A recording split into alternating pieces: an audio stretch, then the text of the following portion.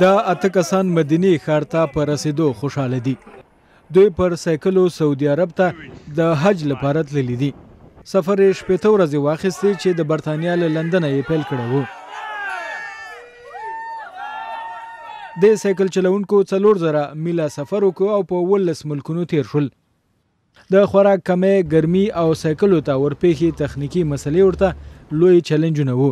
خو دوی تر منزله ورسېدل.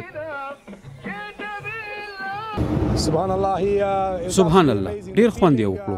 احساسات په خبرو کې نشم بیانولی خو ډیر ښه سفر وو حیران هم یم خوشاله هم یم د خدای شکر کوم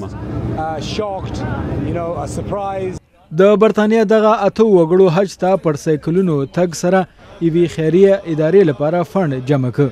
دا کال سعودي عرب ته د حج لپاره خواوشا دوه نیم میلیونه مسلمانان ورغلي وو